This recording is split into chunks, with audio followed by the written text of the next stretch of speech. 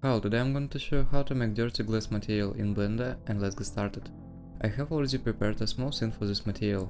Add a new material and rename it. Highlight Principled BSDF and delete it. Press Shift A and add Mix Shader.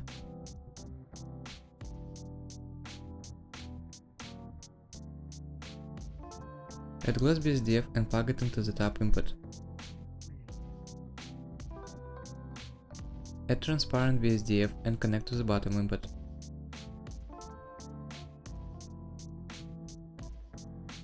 Add light path and plug a shadow ray into the vector.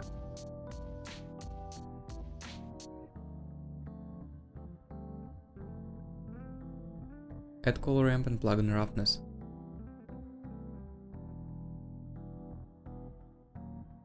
Add noise texture and plug in the vector in color ramp. Add mapping and connect to noise texture.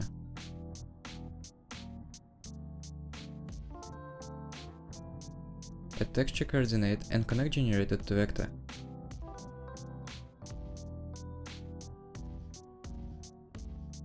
In noise texture change scale to 4, detail to 8, roughness to 0.8 and change distortion to 0.2.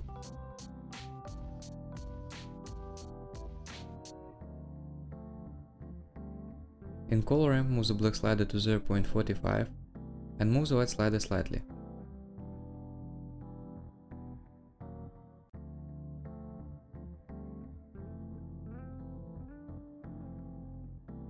Add bump and connect to normal in glass BSDF.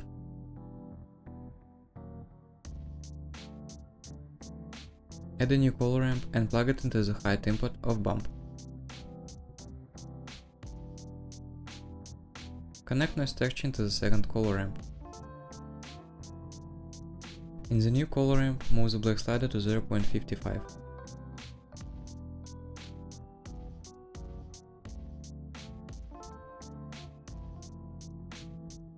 In the bump, change strange to 0.01.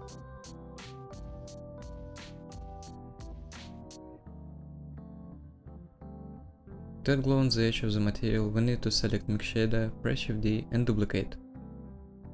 Add emission and connect to the bottom input of the second Mix Shader. Add layer weight and connect Fresnel to the factor. In layer weight change the value to 0.01.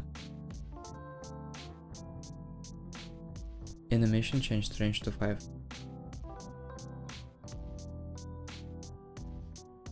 Thank you for watching, set a like, write a comment, we'll with you Spunksy in the new videos.